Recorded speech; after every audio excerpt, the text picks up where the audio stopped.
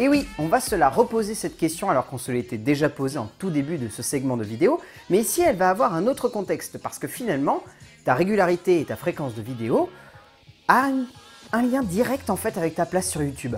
Car il faut que tu te poses cette question. Et même si au fond tu peux simplement avoir envie de donner ton avis sur une œuvre artistique, sur un album, une pièce de théâtre ou simplement pour le plaisir de partager une passion, si tu le fais de temps en temps uniquement pour te faire mousser par tes potes, tu risques un peu bah, de perdre ton temps sur YouTube. Je ne dis pas que ceux qui font du contenu de manière irrégulière ont tort, loin de là.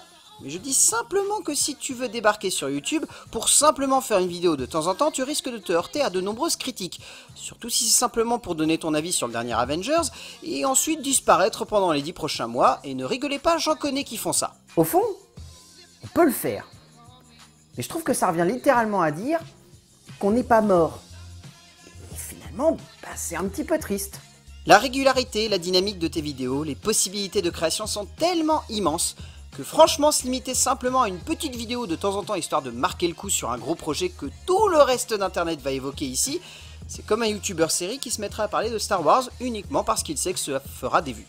Je ne dis pas que cela n'a pas de sens, mais vous ne verrez pas un créateur de musique se mettre à parler d'archéologie. Et au fond, même si c'est tordu, cela part du même principe. Et c'est la même chose pour la régularité. Cela ne sert à rien de uniquement faire une vidéo pour un gros film si tu ne cherches pas à développer quelque chose de plus fort et de plus personnel derrière. Au fond, l'idée est de savoir simplement pourquoi tu veux faire ta place et surtout comment la faire. Par le biais de ta régularité, tu arriveras non seulement à savoir ce que tu veux faire, mais également à savoir pourquoi tu veux le faire. Et pourquoi surtout, cela doit être à ton image en fonction de ton travail, de ta passion, de ce qui doit en ressortir derrière tout cela, de ce qui doit faire la forme et la force de ton contenu.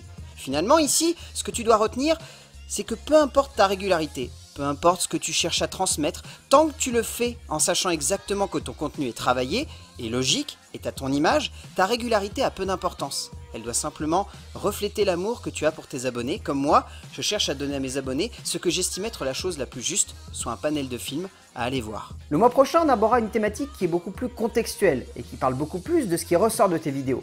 C'est-à-dire ce que tu veux évoquer, comment le faire.